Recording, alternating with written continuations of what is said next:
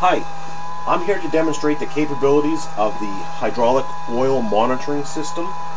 This analyzer is a real-time monitor for the condition of uh, hydraulic oil. This will monitor uh, particulates that can be built up over time. It will also monitor the content of water and it will also tell you if there are uh, air bubbles or you you have a loss of hydraulic fluid and air bubbles are starting air is starting to get into your system. What you see here in front of you is the main screen for the wireless connection to the analyzer. And in the background here I have a live image uh, showing the instrument actually in work. Um, this section below here, this white piece and this funnel on top is just a circulating pump that I'm using to continuously run oil through the analyzer. The analyzer itself is just this small piece here and it's using a mesh network technology to communicate back to a central hub that's running the software you see down here on the lower left.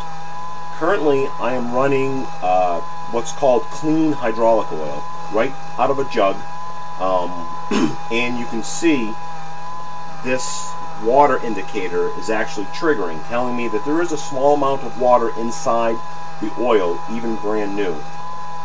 Uh, in for the software control, if you have more than one analyzer on the network, say it's an entire field of analyzers, you will see a list of all the analyzer identifying names right here in this box. The software pulls through each one and queries the status, and then it will display it on the main screen here. What we have is a semi-quantitative uh, bar that tells you if you have particulates present, and a semi-quantitative bar that tells you the amount of water that's currently in the system.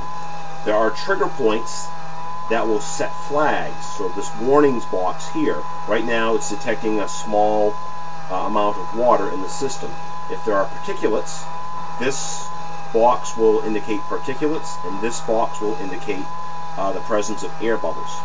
You can also look at a real-time uh, chart of the sensor responses within the analyzer.